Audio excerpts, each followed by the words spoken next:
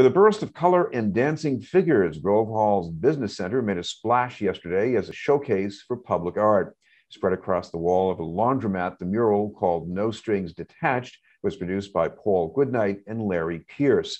They worked together in a mentoring program for artists supported by the city, Greater Grove Hall Main Streets, and the nonprofit Now and There. When you put a mural up on a wall or a public art, you have to realize that that is for the neighborhood that it lives in. And if it's not effective in that neighborhood, they'll destroy it or pay no attention to it and that kind of stuff. So you know that you have to be able to, continue, to, to continually think that the, um, the art, public art, is for the public and mostly for the neighborhood that in which it lives in. The permanent exhibits in your museums tend to not have as many uh, black artists.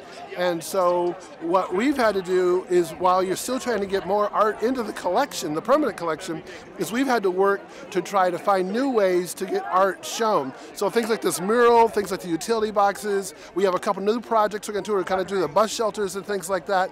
So those are our new ways of trying to get uh, give African American artists the opportunity to ex exhibit their art. I think a community that respects art and incorporates it into the community fabric is one that well is really connected to the creative people in their community that has more community resilience, more networks, um, and is one that can really appreciate its own heritage, who's there, you know, who are the different communities, whether that's immigrants, different populations, youth, all of that comes through arts and culture. The mural is the first in a series being produced by pairs of artists with the goal of creative growth through mentoring.